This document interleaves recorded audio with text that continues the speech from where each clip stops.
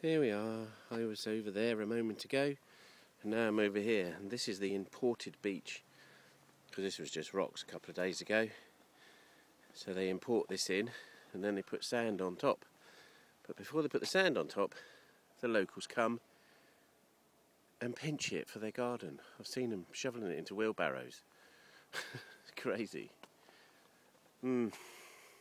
Bit rough though.